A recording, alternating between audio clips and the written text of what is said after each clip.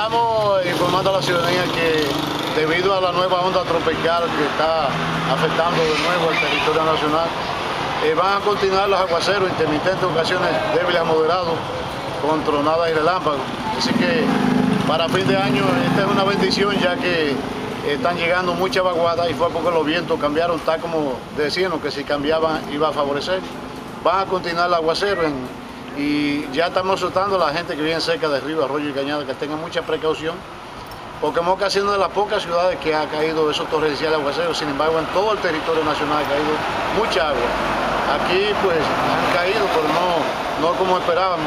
Pero lo importante es que está cayendo y que ya todas las presas tienen un nivel aceptado de agua y sobre todo que ya la gente ha sembrado los cultivos que estaban esperando de lluvia. Ya nosotros eh, montamos la logística, estamos atentos a todo lo, lo que concierne a este gran operativo para que no haya muerte que lamentar, que sea una Navidad sana entre familias, que no, no, no te cuenten, eso es lo que queremos.